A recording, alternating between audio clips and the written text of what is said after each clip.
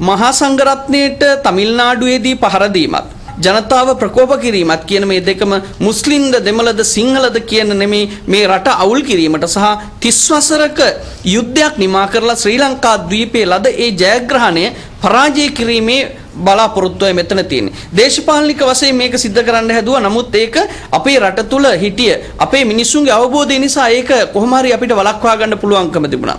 ඒ වගේම පහුකාලීනව විවිධ කුමන්ත්‍රණ සිද්ධ වුණා. ජිනීවා ප්‍රශ්නේදී වුණත් අපේ ලංකාවත් එක්ක ඊ타මත්ම තදින් බැඳිලා හිටියා මුස්ලිම් රටවල්. දැන් මේ මුස්ලිම් රටවල් වලින් ලංකාව අයින් කිරීම තුළ මේ ජාත්‍යන්තරයෙන් ලංකාව හුදකලා කිරීමත් ඒ හරහා ඔවුන්ගේ බෙදුම්වාදී ව්‍යාපාරයට යාමත් තමයි මේ මේ තුල ඔවුන්ගේ අරමුණ බවට පත් වෙලා තියෙන්නේ. ඉතින් ශ්‍රී ලාංකිකයෝ හැමදාම තමන් බුද්ධිමත්ව මේ පිළිබඳව කටයුතු කළා.